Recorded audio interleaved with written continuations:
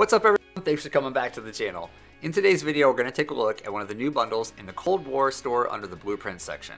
Hit that subscribe button if you're looking to stay up to date on all the latest store content drops. And if you find this video helpful at any time, please drop a like on it.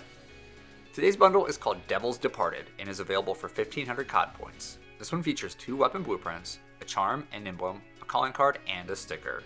Let's jump in and break it down. First off is Succubus, a weapon blueprint for the XM4 assault rifle. Again. It seems like we have gotten a never-ending supply of blueprints for this rifle in Season 1. Anyways, this one comes with the Patrol Grip for some sprint speed, the Suppressor for flash concealment, Cobra Red Dot Optic, the Speed Tape to improve your ADS times, and the Steady Aim Laser to help with your hipfire accuracy. Next up is Warlock for the M16 Tactical Rifle. This one has the front grip for gains to horizontal recoil control, the silencer, the Millstop Reflex Optic, and Steady Aim Laser for hipfire accuracy again. Also included is the Trident of Doom weapon charm, the Infernal Seal emblem, the Infernal March calling card,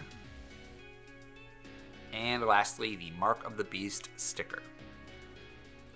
And that is a breakdown of the Devil's Departed bundle. Don't forget to drop a like if you enjoyed this one. Thanks for watching. I'll see you next time.